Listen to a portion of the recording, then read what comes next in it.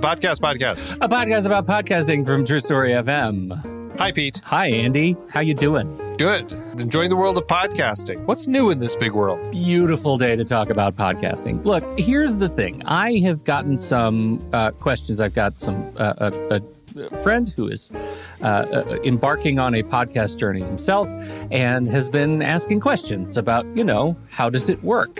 And I realize there's a there's a thing we haven't talked about, which is the thing that I think a lot of podcasters don't think about until it's it's late in the game and that is how do you organize the back end of your show right because getting the show in a podcast feed and sending it out is is you know fairly straightforward but once you start doing multiple episodes of a given show how do you prep how do you plan for it what technology are you using to keep your episodes organized so that you know what you've talked about in the past and what you're ready to talk about in the future and so i thought hey we do that you and me we have We been sure do. doing that a lot for a lot of shows for a lot of years. And so I thought, hey, let's talk about it. We're making a podcast. Uh, I mean, how in depth are we looking? Like, we're assuming that the recording, the editing, that's kind of taken care of. Are we coming into this conversation at the point where I have my little freshly edited and recorded or recorded and edited show, and now I need to figure out what to do with it? No, I think let's start even further back. Let's start Ooh, okay. at, at the uh, the the sort of idea stage of an episode, right? I'm going to assume that we have a show that we've done a few episodes of our show, and now we're planning for the next episode. What are the tools that we use, and what's the thinking that goes into how we organize the administrative side of the podcast? Excellent. Okay. So, all the way back to the germ of the idea, where do I put this germ of an idea? That's true. And I, when we started, and I think a lot of podcasters start this way. They start in, especially if you're working with somebody else, they start in Google Docs, right? Google Docs is the easiest of the easy way to create a collaborative note across platforms, across computers, across dis- great distances. Many people can go in and add ideas to build a show outline and and start talking. And I have heard recently of people who have had a single Google Doc that they use for their podcast and they just keep adding stuff to it to talk about. And every episode is just scrolling down to see where they left off and start talking about the next thing on the list if it's still appropriate. And that Google Doc then is uh, tens of pages, hundreds of pages long. Uh, it's massive and kind of unwieldy. And uh, to, to my brain, it breaks. Can you imagine? That's it's a hard way to process that. I just I don't know I don't know how well I could do it. It's a little free form for me. I like I like having it split up a little bit so it's easier to figure out where am I starting and ending. Yeah, yeah. I, I, I, I think it's really it's delightful to hear you say it's quote a little freeform for me. That might be the biggest understatement of the show and maybe our relationship. I'm not calling you rigid, no, but organized. Uh, we uh, for a while we augmented this approach and we used a Google Sheet. So we created a spreadsheet for every episode uh, of the show, and that allows us to start capturing some tabular data. And so we can have, you know, when are we recording? What is the date of recording? What is the date of release? If it's a member podcast, what is the date of the the member version release versus the public version? Once you have tabular data you can start sorting and and searching and seeing stuff. And then all we would do is click and create a link on the title of the of the episode in the spreadsheet and link that to a google doc. So when you click on it it opens a google doc and that is the show note. That's the actual outline that we would use to record the show. And we used that for a lot of years i think. A lot of Yeah, years. yeah, quite a while. Uh, but then you know the, the world opened up for us and we heard an angel choir I, is that how it hit you i think it might have hit you that way um, when we started using coda.io Yeah, it's I mean it's such a, a nice tool to use because it really feels like a smart way to blend what you get out of a Google Doc, but also you're you're you have the opportunity of spreadsheets built into them. You have a database like it's it's like all of those Microsoft Office tools squeezed into one place. and um, it's just it works uh, very fluidly. And I I don't know if uh, all of the people tuning in have heard of Coda, but it's absolutely worth looking at because it just it's such a handy way to kind of streamline the process of building all of these things in a an easy to manage way. Oh my God, it's it's really wonderful. And uh, so, what we do when we set up a new show is we create a new Coda document. Now, Coda document is kind of misleading because a document is made up of many different sections, and you could put folders and sidebars and all kinds of things. The root of a Coda document for us is the show episode database, and so we create a, tab- a tabular section in Coda that says here are all of our episodes and then we can expand each one of those lines into to see the show episode record what goes in the episode record can you what what do you see when you open the episode record well you i just want to say for everybody that i still have a struggle using the right names for everything in Coda. like I just call everything in there a document. So when you're saying your record, I'm like, you know, I don't know actually what he's talking about. Like it all it it they've changed the names of things, and so that's something I don't like about Coda. I don't know if we want to share this with all of our guests, but I do I, I do feel like some of the naming in there is a little frustrating. So so the record, I guess, is is when you step into a well, that might be me. That might be me using because it's kind of old school database jargon, right? Like in a database, it's made up of tables and records, and um, and that's so I'm sorry for that. That's not that's unfair to you to introduce that.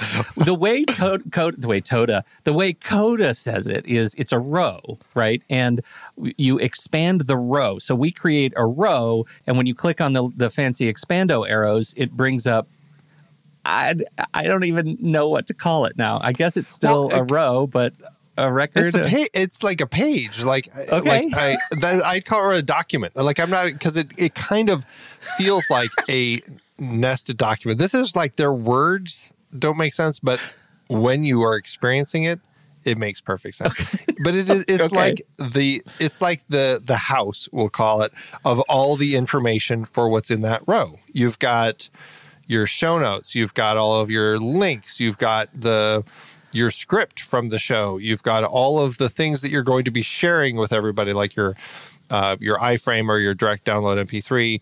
All of that stuff ends ends up in there. In addition to like you have, um, you can put all of the different um, uh, tags for your hosts and any guest that you have that build into those tables as well. So it's all connected on the back end. Yeah. And that, I mean, we can't underscore when you're looking at the house, and then each of the rooms of the house are the other tables that talk to it. I uh, Coda, uh, the people at Coda, please get in touch with us. We'll help you rename all of these elements. Uh, it's all going to be house house related, like... right? Right. It's all real estate now from now on. So the neighborhood is the doc, and never mind. So the the connected tables, like it's it, being able to connect tables to one another, is really really useful. So we always start with a show table, um, but we do have a hosts and guest table that are separate tables and they're interconnected. So the guest table is really powerful, and it's a thing that we use all the time for a lot of our shows. Um, it has the guest headshot, it has the guest name, it has the pronunciation, it has their pronouns, it has their bio, it has links to other you know books they've written or movies they've worked on or uh, you know anything that that is related to them. And that allows us to maintain that over time. If they're repeat guests we don't have to keep going back to them to you know to and badger them for updated information. And we end up getting a resource library of what ends up being hundreds of guests who've been on our podcasts over the years and so when we come up with a topic in the future, it's a quick search to figure out who would be best to talk about this thing on an upcoming topic on an upcoming show. Maybe we just check our own guest library to see who is a topical expertise. We can also, because it's cross-referenced, we can go into a guest into a guest's record room a guest room. we go into the guest room in Coda, and it'll show us all of the episodes that that guest has been on over the years. And so, you know, for example, the Taking Control the ADHD podcast, we have what are uh, uh, what we refer to as our Hall of Fame guests who've been on the show five, ten times over the last, you know, 14 years. And um, it's really nice to be able to celebrate how their work has changed by continuing to invite them to the show and update that guest record and, and see their work. So the, all of that stuff is is where the that's kind of the locus of our our podcast. Every show that we do has a coda doc that is the canonical truth of each show. Yeah. And, you know, just to clarify, when we're saying like things about the tables and the guests and all of this information, like that's all malleable. It's stuff that we have determined we want to be collecting, that we want to be putting in here. And that's what's so great about Coda is like it all is malleable to whatever works for you. What are you needing to collect from the guests? What are you wanting to make sure are part of your show? It's it's not like some hard and rigid form that we have. It's actually all just you know we can choose what we want to be uh, seeing and collecting. What do you? Is there anything on your list? And I'm, this is a leading question because I have one an answer. Is there anything on your list that you wish Coda would do for you that it doesn't? Um, make me breakfast sometimes. okay. Okay. Uh, we I don't. call the what, devs. What, what are you? yeah. I the thing that I actually know Coda can do, but I haven't figured out how to do it because of time and other roadblocks, is to actually publish to our website. That is a thing hmm. that if Coda is really the canonical truth, I feel like the next step for me is to figure out how to have a publish button on here that says connect these fields to WordPress and send them to our WordPress site when we publish an episode because that would remove the last step for us to be able to to publish the, the show on the website. It it also it doesn't publish to Transistor, which is our host on the back end, Transistor FM, uh, fantastic uh, host. Um, but uh, just removing the the WordPress integration would be or uh, step would be a, a great step in the right direction. So that would be nice. yeah. Yeah. yeah, But other than that, it, it like Andy said, I mean, it's it, because it's hundred percent customizable. I mean, we can do whatever we want, and it makes it, it. And I think it's pretty user friendly too, right? I mean, it's not. Oh. You don't have to be a developer to use Coda. you don't have to be a developer to use Coda. It does take some learning just to figure out. Like I, I feel like the the element of learning how to like step into these um, different um, step through the door into the, Into house, the house. for each Yeah, of these good. is is something that is a little tricky for people to um, get used to the first time. But I feel like once you've gotten used to that, it's it's pretty understandable and easy.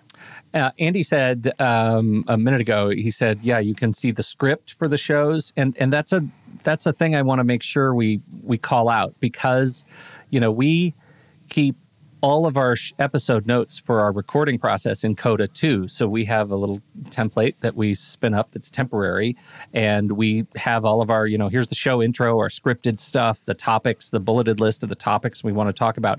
We always copy and paste that and add it to the show record for that episode. Again, because it's so wickedly searchable, we can search the show for specific topics and see what we've talked about in the past. It makes it incredibly easy to have this one place that has uh, not just the finished product of a show uh, as a record, but all of the notes that went into it. Same thing with transcripts. When we're creating transcripts for our episodes, for our client shows in particular, we always paste the transcript link in there too, so that we can go and, and search that transcript for specific topics. It's useful to have everything in one place. And so that's what I, I think that's the the big brain of our of our back end podcasting operation is Coda. What other tools would do you count on for getting the job done? I mean, in the in the early stages, uh, you know, we're we're talking about kind of like putting it together. I- feel like the next big tool is recording the show, um, unless you think I'm missing a step. But recording the show, uh, you know, we'll we'll record in Discord sometimes, uh, but we've also been using Streamyard quite a bit, which is we feel like a nice step up over what Zoom had been providing because what Streamyard offer offers with uh, everybody who you have on the line is uh, it's recording audio on their system, and so Zoom will record individual tracks for each person, but it's recording on your end. So if there's any internet interference as uh, with one of your guests or, or hosts that you're talking with, that will all get recorded into their feed.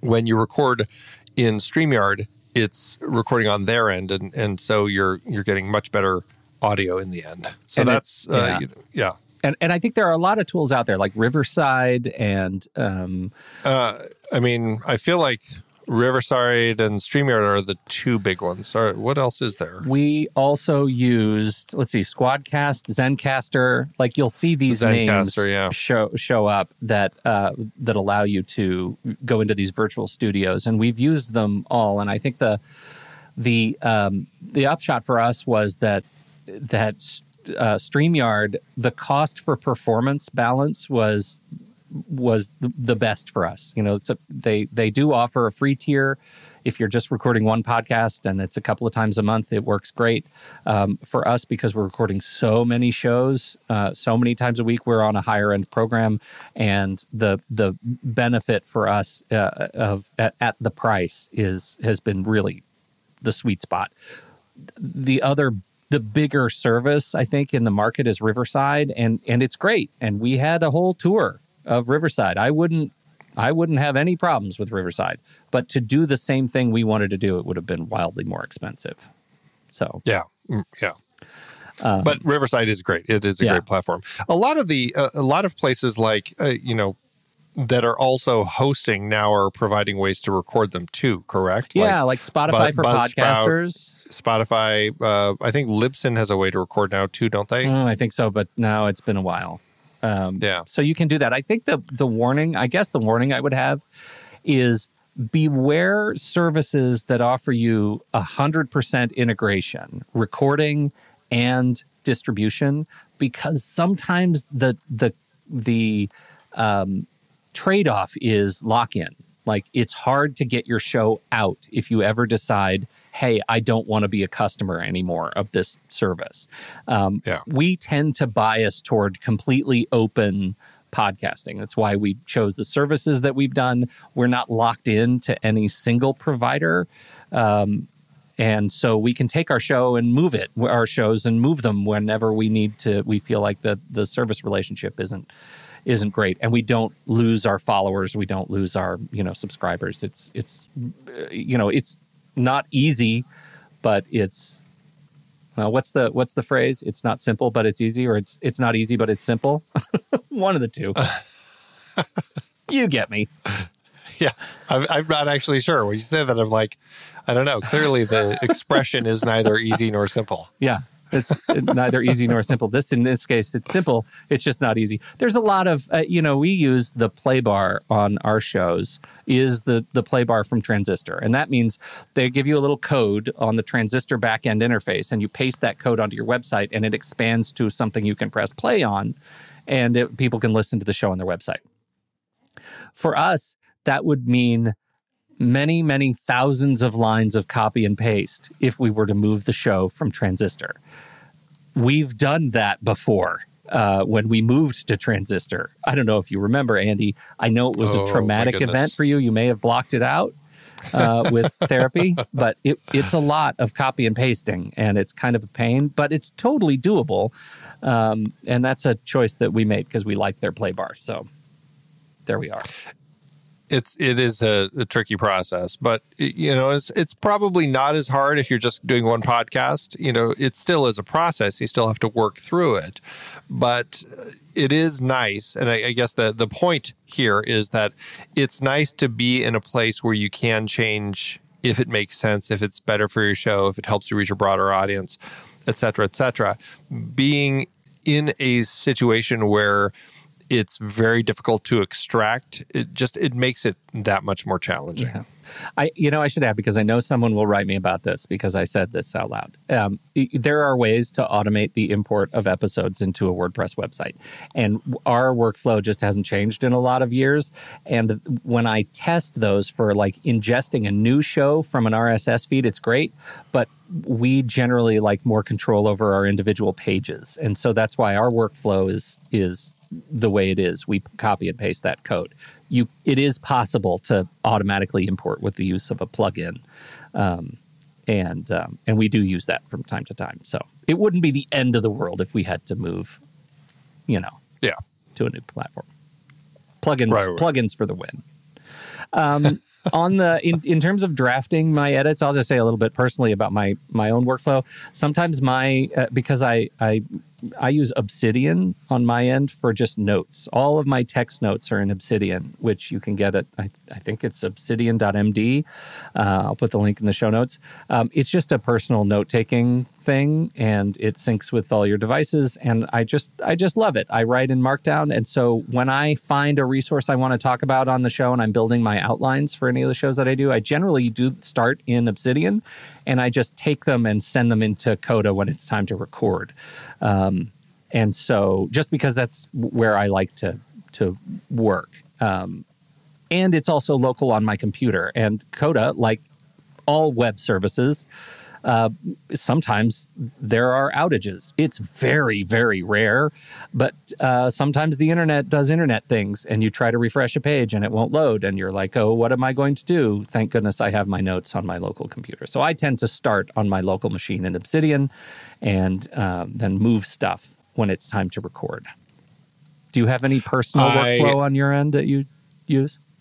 you know, I don't want to make myself sound like a, an old school um, uh, simpleton, but I just, it's all on paper still. Whoa. Is that okay to say on this show? Whoa, I did not expect that. I thought you were going to say like, "Oh, it's in Word." And I was going to have to. No, now right look at your notebook. There's like parchment. Is that a feather quill pen? I dip it in in my little ink. It is pot? no. I actually now that's cool again. There was a time where oh, where writing on paper wasn't cool, I've but you, line. come back around. Back into cool. The future is uh-huh. post-its and the past. Yeah. No, that's great. Post, yeah, post-its like these ones. You have a dispenser.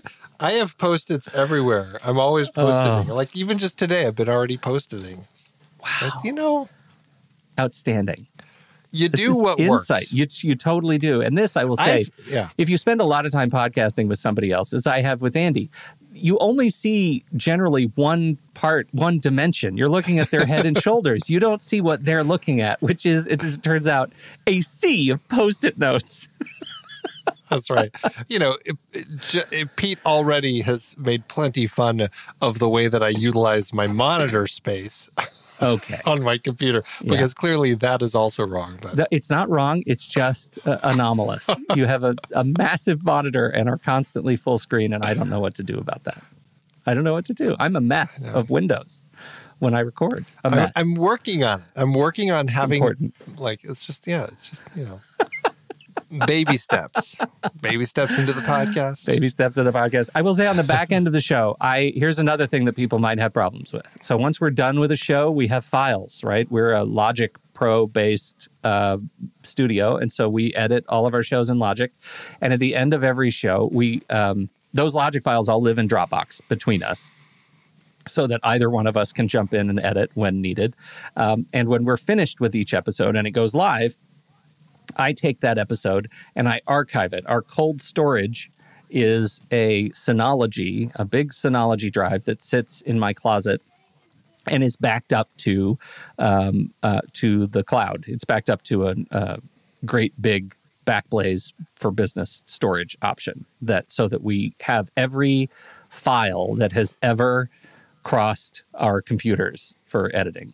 And um, I think there are I, I think there are mixed opinions on our archive strategy, which is right now to archive everything.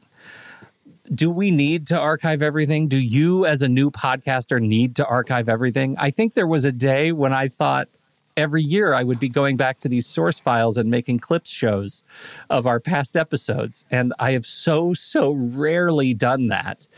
Uh, that I don't know why we keep everything, but it's just what we do. We we have our entire archive. Do you think about that ever? You come from film production, like you that also archive everything.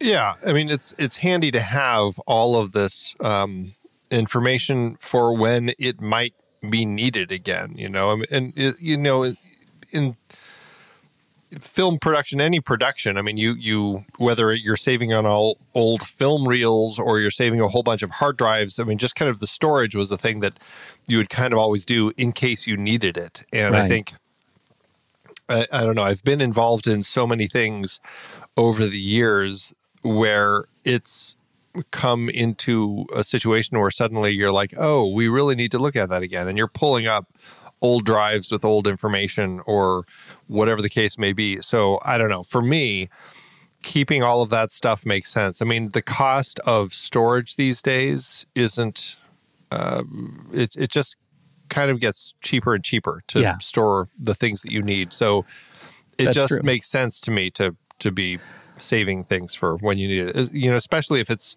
your business or it's, it's the thing that you're creating and putting Yeah. out into the world. Why not make sure that you have access to it in case something happens? I mean, you never know. Somebody may one day hack into your show and it may not be, you know, pumping out what your show was and you need to repost it. I mean, For sure. That's probably a strange example, but you never know. You never know what's going to happen. Well, I'll tell you an example where that has come uh, up, not the hacking part, but the the benefit of having the the actual source files. Um, you know, we sometimes rebroadcast old episodes, and when we have season breaks, we'll you know take every other week and we'll throw old episodes in, and I'll record sometimes a little new intro of of this podcast or that. And one of the things that's really nice is when we go to shows that are years old. I can remaster them pretty quickly using our current set of plugins that actually make sweeten the sound. So when I rebroadcast old episodes, they often sound uh, appreciably better than they than they did when we originally released them five seven years ago. Just because the technology has changed, we're able to to do more. We've learned more about our own edits and and how we master shows. So um, I think that's just one example of having those source files and not just relying on the MP3 that you end up, you know, publishing for those things. Yeah, it's it's because especially depend. I mean, you never know. Depending on where your show is playing, it may be getting ads baked in, and Right. if you have to go pull an episode that um, because you don't have the archive, what you're pulling will have those baked in ads, And that's now- a pain. It's a pain to cut the yeah. ads. Yeah, for sure. Yeah, but a lot of really interesting content for sure. Uh, that's a you know window into a part of the podcast management side of things that I think will likely be helpful to people. I hope so. Thanks everybody Yeah, for listening to the podcast podcast podcast about Yes. podcasting TruStory FM. This is this is a fun show for us to do, and we appreciate you listening. Thanks, everybody.